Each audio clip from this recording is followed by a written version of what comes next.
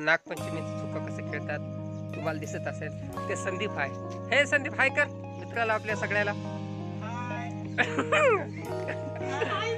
कस कस कसं वाटायला?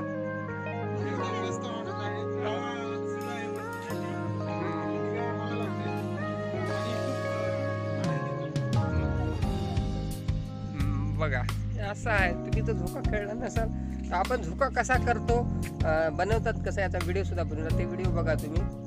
आणि हा कसा बनवतात? झोका बांधणं तसं फार अवघड नाही. अवघडच आहे.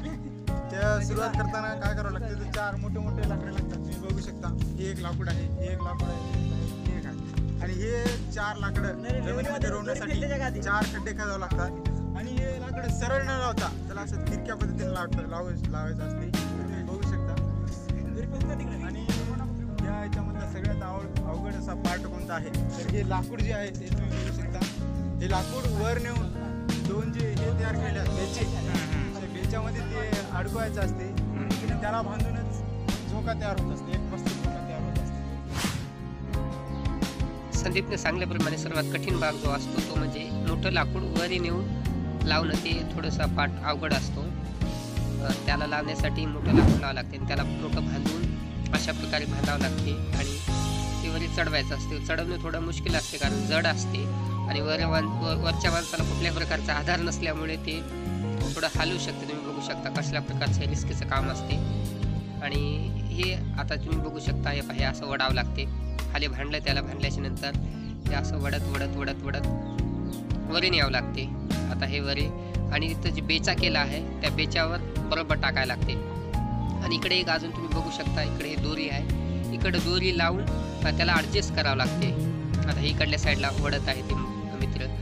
आणि तिकून तसं लावतात. बघा हे असं लावायचं असतं त्याला बरोबर ॲडजस्ट करावं लागते. आणि हे आता थोडं ॲडजस्ट व्हायला ॲडजस्ट ॲडजस्ट केलं जाते बरोबर. आणि तिथून ती त्यानंतर ती सोडली जाते दोरी. ॲडजस्ट वगैरे करायचे आणि झाल्याच्यानंतर आपण तुम्ही बघू शकता की अशा प्रकारचं ते असं दिसू शकते हे बाहेर. तुम्ही बघत असाल हे अशा प्रकारचं झालं. दुरून असं दिसायला म्हणजे व्यवस्थित आलं की नाही याचं अंतर वगैरे ते दुरून चेक करावं लागते तुम्हाला.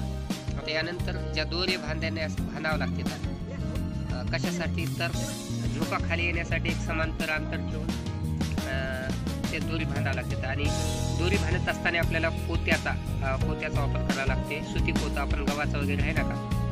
ते पोतं लावू लावावं लागते. तुम्ही बघू शकता तशा प्रकारचं पोतं लावतात. जेणेकरून ते हलू नये इकडे तिकडे.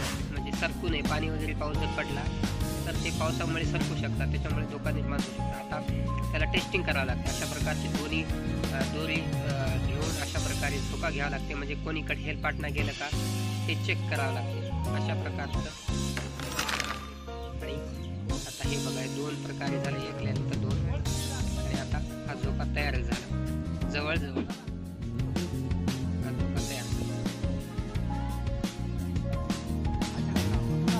मित्रांनो संदीप भगत. हे नागपंचमीचा झोका आहे. हा झोका तुम्ही जर बघितला नसेल कसा खेळतात तर हा तुम्ही बघू शकता झोका कसा खेळत आहे. माझा मित्र आहे शुभम. तो झोका खेळतोय. का? कसं वाटतं कसं वाटतं झोका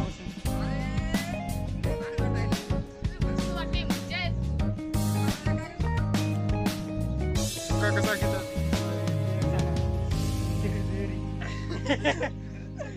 आता मी एवढ्या स्पीडमध्ये मला बोललेलं तुम्हाला आवाज सुद्धा येणार नाही.